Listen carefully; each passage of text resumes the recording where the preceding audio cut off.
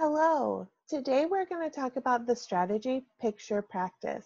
Picture practice is a great strategy to build self-regulation and it's super easy. Anyone could do it. So you start the strategy just by finding some kind of pictures that go along with maybe social conflict. It could be in magazines, books, or online.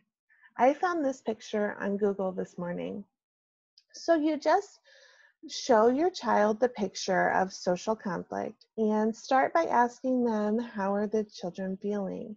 This is really great because it helps them to look at people's facial features and expressions and try to guess how they're feeling.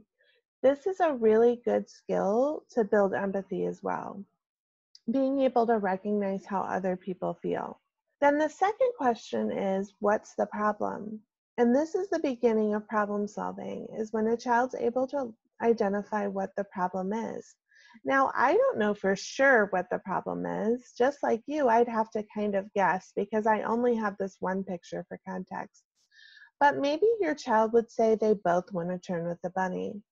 That's fine. It doesn't really matter what problem they identify. The point is is that they're looking at the situation and trying to figure out what the problem is. So let's say that's the problem. Your child says they both want to turn with the bunny. Perfect. So the third question then is, well, what could they do about it? This is the next step of problem solving.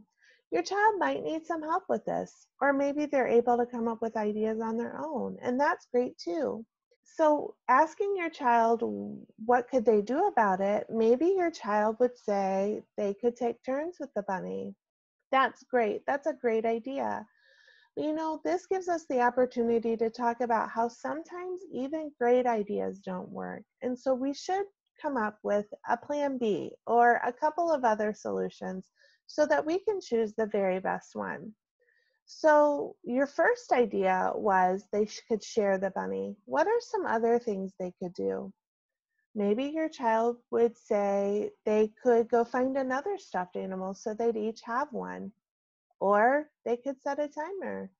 Or maybe even they should get a grown up to help. Any of those solutions, all of those solutions are great ideas. And this gives us the opportunity to talk with our child about how there's often multiple ways to solve any problem. And so practicing this, looking at these pictures, talking through what is the problem, how are they feeling, what could they do about it, are all building their problem solving skills, which are going to make them better able to resolve social conflicts as they happen in school and with other children. For more information about social emotional wellness, check out our YouTube videos on lots of different topics. Thanks for joining us.